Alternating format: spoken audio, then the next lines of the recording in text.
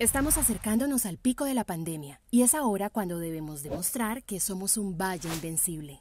Hola amigos, yo soy Marta Isabel Bolaños, vallecaucana, orgullosamente caleña y paso a saludarlos, a expresarles mis mejores deseos y a recordarles amigos el uso obligatorio del tapabocas, la distancia social, conscientes todo el tiempo de la distancia social y en lo posible amigos bellos, no salir si no es necesario. Estamos en el momento más difícil de la pandemia, pero yo sé que si colaboramos, que si nos unimos como el valle poderoso, el valle invencible que somos, vamos a salir adelante. Los quiero mucho.